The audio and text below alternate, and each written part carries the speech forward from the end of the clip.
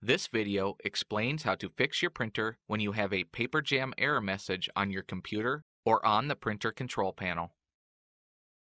In this step, we'll check for and remove any obstructions in the paper path. Do not remove jammed paper at this time. Begin by removing any loose paper from the input or output tray. Press the power button to turn off the printer. In some cases, it may not turn off. Whether or not the printer turns off, in the next step, we need to unplug the printer. Turn to the back of the printer. Remove the USB cable from the printer. Unplug the power cord. Look inside the input tray and remove any foreign materials such as paper clips, pens, or other objects that might have fallen inside. Use a flashlight to illuminate the area.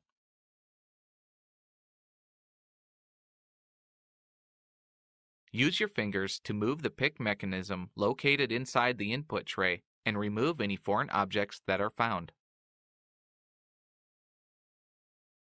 Ensure that there are no foreign materials that remain inside the input tray. This could result in further jams or damage the printer.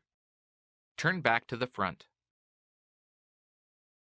Close the input and output trays.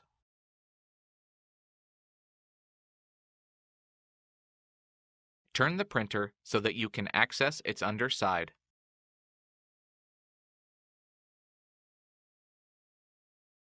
Locate the cleanout door and press the tabs on either side to open it. Carefully remove any paper you see. If the paper tears while removing it, check inside the door for any torn pieces of paper that might remain inside the printer. If any torn pieces of paper remain inside the printer, more jams are likely to occur.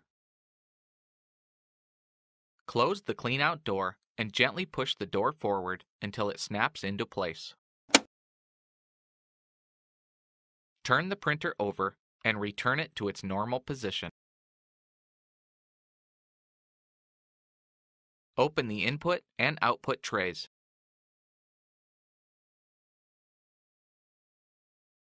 Look inside the input tray for any foreign objects that might have shifted when the product was turned over.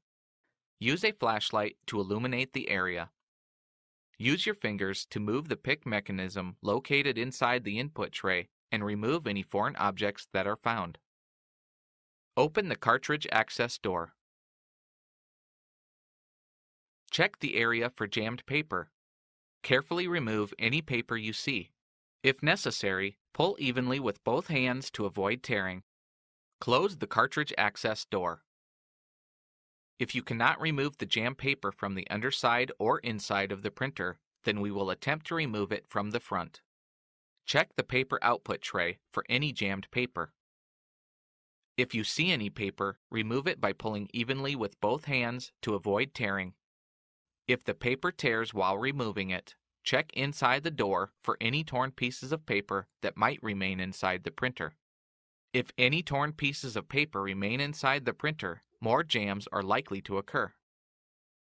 Turn to the back. Reconnect the power cord. Turn to the front. If the printer does not automatically turn on, press the power button on the control panel to turn on the printer. Load paper into the input tray until it stops. Slide the paper width guide inward until it stops at the edge of the paper. Do not push the guide in so tightly that it starts to bend the paper. Try printing a page directly from your printer to see if the issue is resolved. On the control panel, press the button next to Setup. Then, press the button next to Printer Report. If the page prints successfully, the issue is resolved. You can reconnect the USB cable and resume printing as normal. If the page does not print, go on to the next step. Use the following steps to make sure the carriage can move freely. The printer must still be on for these steps to work. Remove the paper from the input tray. Open the cartridge access door so that you can view the carriage. The carriage will move to the center of the printer. Turn to the back. While the printer is still on, disconnect the power cord from the printer. Then, disconnect the other end of the power cord from its power source. Turn to the front. Look inside the printer and check for obstructions around the carriage that could prevent it from moving. Use a flashlight for proper viewing.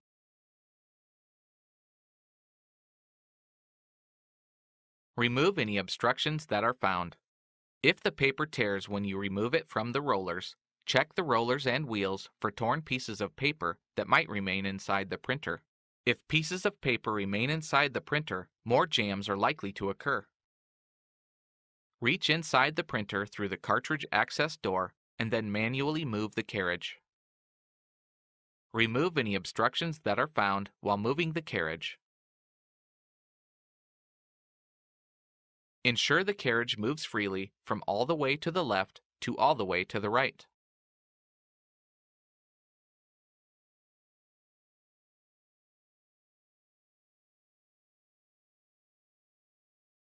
Once all obstructions are removed and the carriage can move the full width of the carriage path, close the cartridge access door. Turn to the back of the printer. Reconnect the power cord into its power source. Then, reconnect the other end of the power cord into the printer. Turn to the front of the printer. If the printer does not automatically turn on, Press the power button on the control panel to turn on the printer. Load paper into the input tray until it stops. Slide the paper width guide inward until it stops at the edge of the paper. Do not push the guide in so tightly that it starts to bend the paper. Try printing a page directly from your printer to see if the issue is resolved. On the control panel, press the button next to Setup. Then, press the button next to Printer Report. If the page prints successfully, the issue is resolved. You can reconnect the USB cable and resume printing as normal. If the page does not print, go on to the next step. Printer rollers get dirty from dust, paper fiber, and other debris. In this step, we'll clean the rollers. Before you begin, gather the following cleaning materials clean, lint free cloth, clean cotton swabs, clean water. Distilled or bottled water is preferable but not required. Do not use alcohol or other chemical cleaners. Remove the paper from the input tray. Press the power button to turn off the printer. Turn to the back of the printer. Disconnect the power cord. Look down through the open input tray and find the gray paper pick rollers. Use a flashlight to illuminate the area.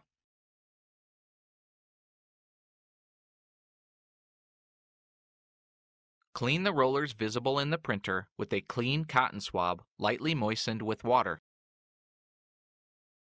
Remove excess water from the swab by blotting it on a cloth. The swab should be damp, but not soaking wet.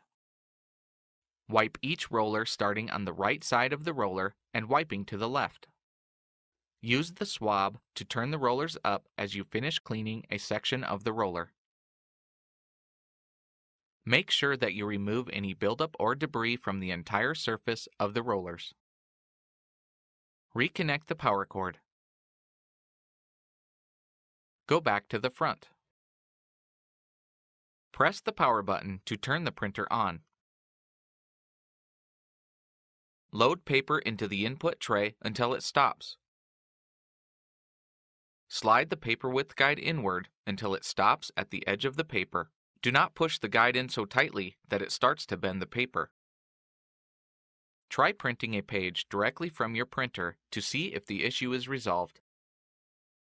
On the control panel, press the button next to Setup. Then, press the button next to Printer Report. If the page prints successfully, the issue is resolved. You can reconnect the USB cable and resume printing as normal. If the page does not print, go on to the next step. Sometimes the issue can be resolved by resetting the printer. The printer must still be on for these steps to work. Remove the paper from the input tray.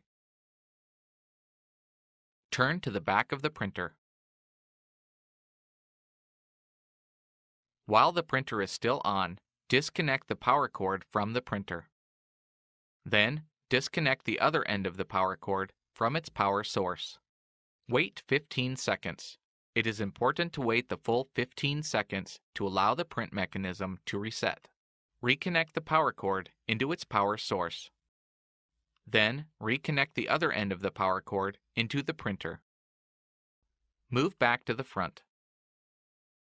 If the printer does not automatically turn on, press the power button on the control panel to turn on the printer. Load paper into the input tray until it stops. Slide the paper width guide inward until it stops at the edge of the paper. Do not push the guide in so tightly that it starts to bend the paper. Try printing a page directly from your printer to see if the issue is resolved. On the control panel, press the button next to Setup. Then, press the button next to Printer Report. If the page prints successfully, the issue is resolved. You can reconnect the USB cable and resume printing as normal. If the page does not print, go on to the next step. If you've tried everything described in this video and you still have a problem, your printer likely needs some type of service. Contact HP to find out what the support options are for your printer. Your options for service may vary depending on how long you've owned it and what country you live in.